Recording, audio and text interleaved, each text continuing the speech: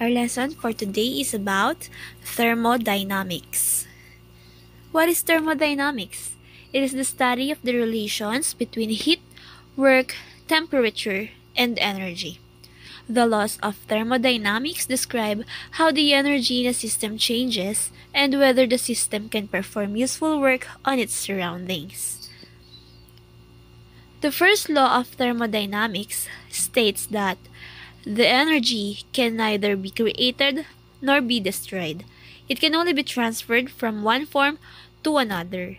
Okay, the equation for the first law of thermodynamics is the change in internal energy or delta U is equal to the heat added to the system or Q minus work done by the system represented by letter W. Let's talk about the first law of thermodynamics. So, let's say this box is the system at lahat ng nasa labas niya is considered as the surroundings. Energy can flow into or out of the system and there is two ways that energy can do so and that is heat and work. So, if the heat flows into the system, the system gains energy. And that energy is known as the internal energy. And that is represented by the capital U. Now, the surroundings can do work on the system. So, yan yung dalawang ways so that system can increase energy. First, the transfer of heat. And then second is by the surroundings that perform work on the system. Okay, gets? For example, the surroundings performed 275 joules. That means the system's internal energy goes up by 275 and the surroundings loses 275 joules. The energy of the surroundings, however, has to decrease by 275 and so the energy has not been created nor destroyed. Na-transfer lang siya from the surroundings papasok sa system. Okay. Hindi lang basta nagkakaroon ng 275 joules sa system tapos nabawasan si surroundings out of nowhere. That 275 joules of energy came from somewhere and it came from the surroundings. Okay. It is also the same as if the system loses 500 joules then, the surrounding also gained 500 joules. Okay, now, there are three types of system. You have to familiarize. The open system, the closed system, and the isolated system. In the open system, matter can enter inside it, so matters from the air can go inside of it, like oxygen. And also, heat energy can float into an open system. Therefore, matter and energy can transfer into an open system. Okay. In a closed system naman, matter can't flow into it, so oxygen can't go in and outside of a closed system. However, energy can still flow into a closed system. So in a closed system, only energy can go in and out of a closed system. While on an isolated system, energy or matter cannot enter or leave. So the mass within an isolated system is fixed. It doesn't change and the total energy of an isolated system also doesn't change because no energy can flow into it or even out of it. Now, let's go back to the equation of an internal energy, which is delta U is equal to Q minus W whereas Q represents the heat energy that flows in and out of the system minus the work done by the system. And every time work is done by the system, the system has to spend energy to do work. So the internal energy of the system decreases. That is why work is negative. Okay. So in this case, work is negative when work is done on the system and work is positive when work is done by the system. You have to remember this. We focus on the surroundings when work is done by the system. The system loses energy, but the surroundings gain energy. And that is when work is positive. Okay, you have to remember that, ha? Okay, let's do a sample problem. Our problem states that calculate the change in the internal energy of a system if 275 joules of energy is added to it and if the system performed 150 joules of work. So, let's calculate it using this equation. The delta U is equal to Q minus W. Remember, if Q is positive, heat energy is added to the system. If Q is negative, heat energy is removed from the system. If W is negative, work is done on the system.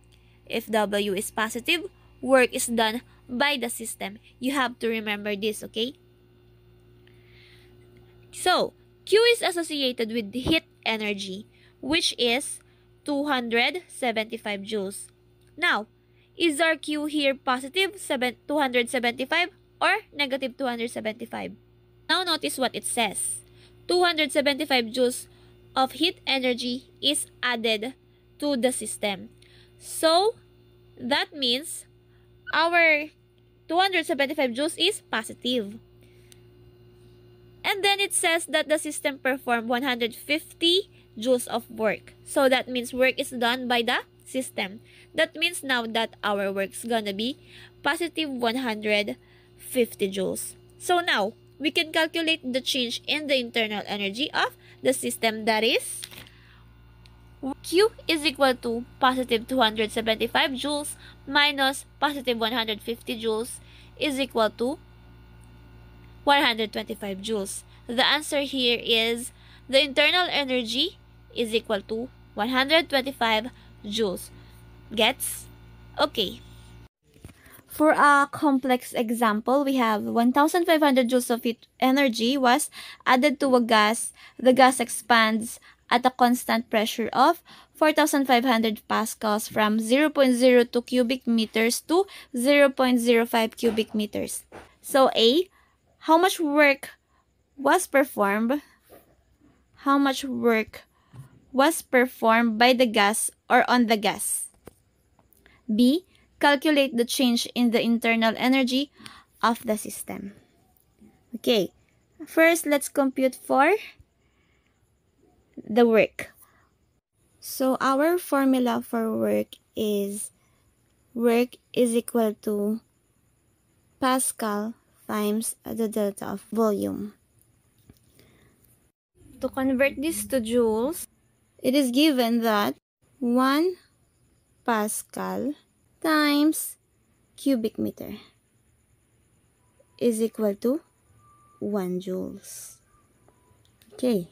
Now that we have the formula, let's compute for work. Okay? Work is equal to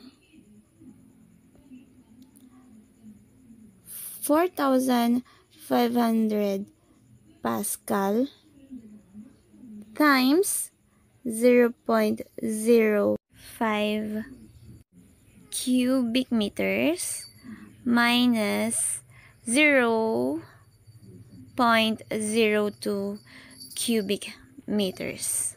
Okay, let's compute for that. 0 0.5 minus 0 0.02 equals 0 0.03. Okay, we'll now have the value for the volume, which is 0 0.03. So, work is equal to 4,500 Pascal multiplied by 0.03 cubic meters. That is equal to times 0.03. 1,350 joules. Now, we have the value for work.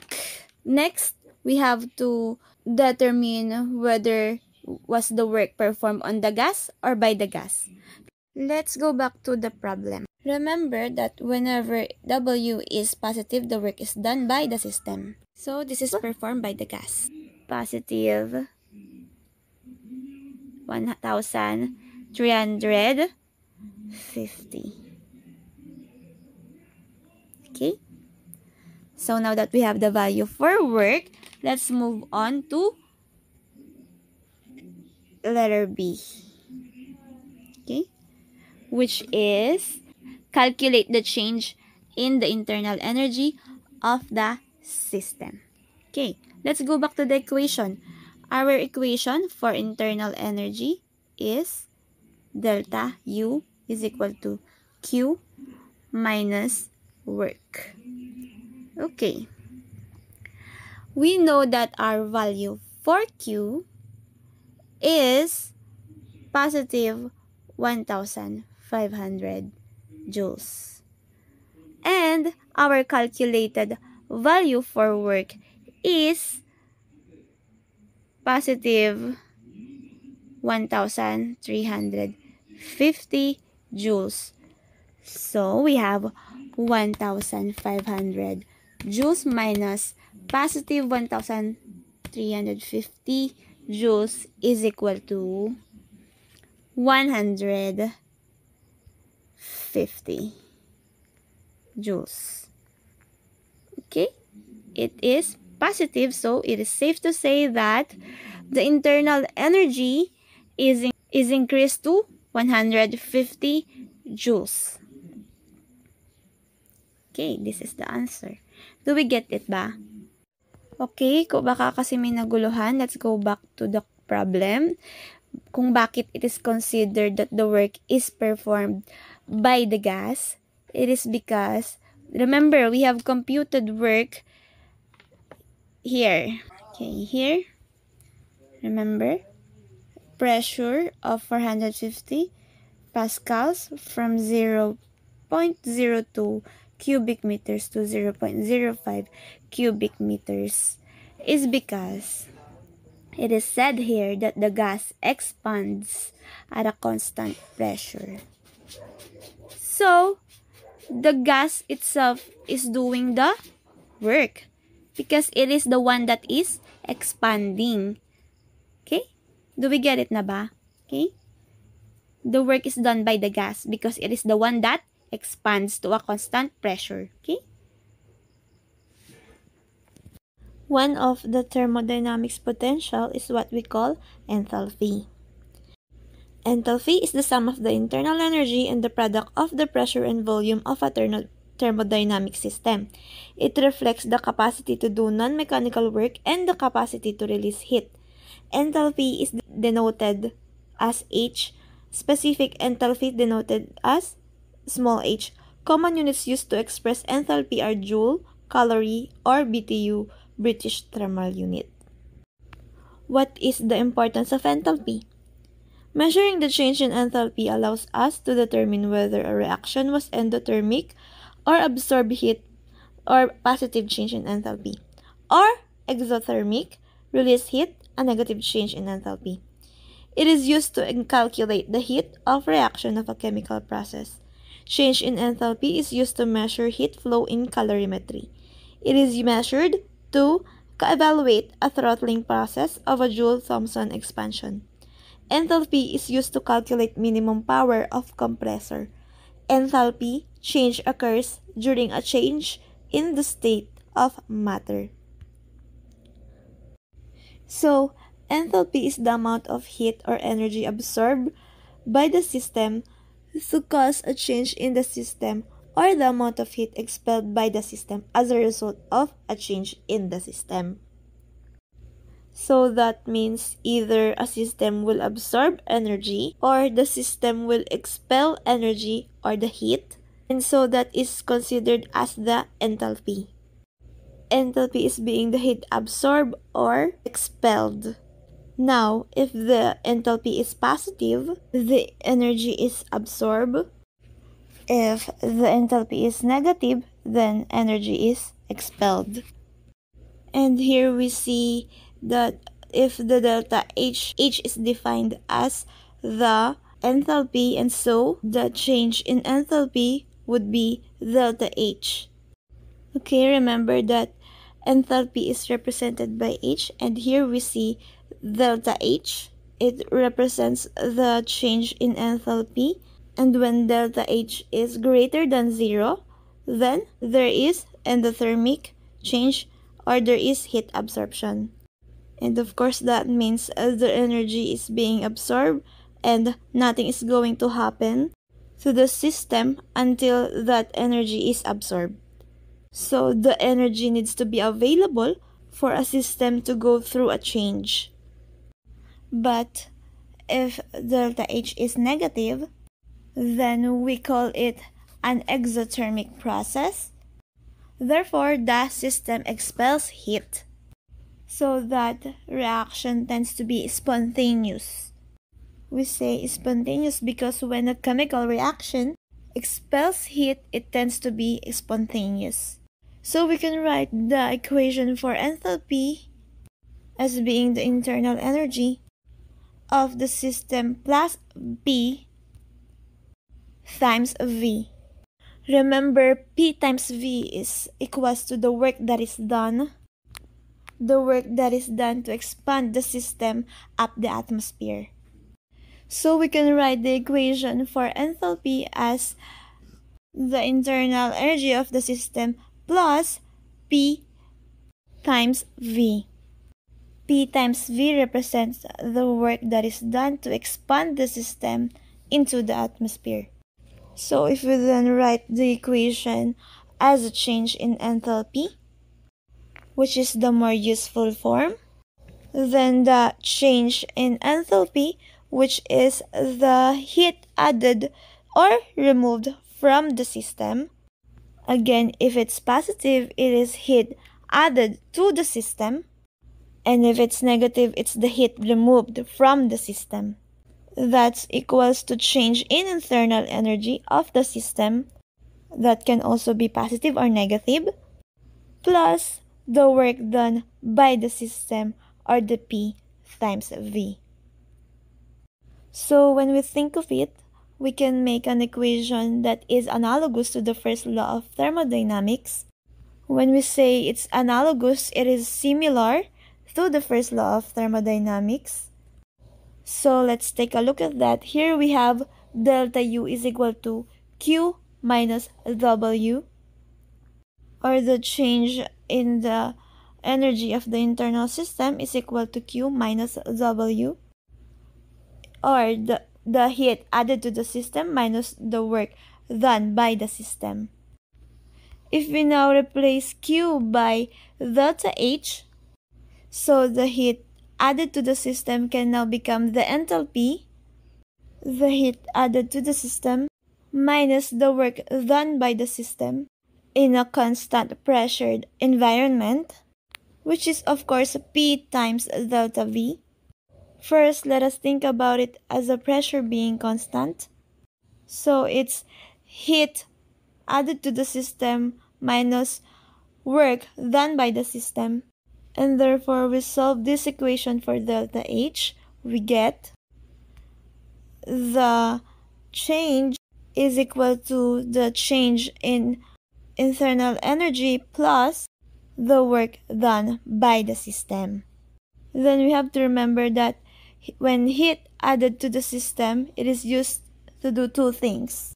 First, it increased internal energy through the system, which is delta U, and it is also used to expand the system against the pressure of the atmosphere. That requires work because imagine you have to push the atmosphere away so when the system expands because of action or whatever that is causing the change in the system, so enthalpy is done by the sum of the change in internal energy plus the work done by the system to expand against the pressure of the atmosphere.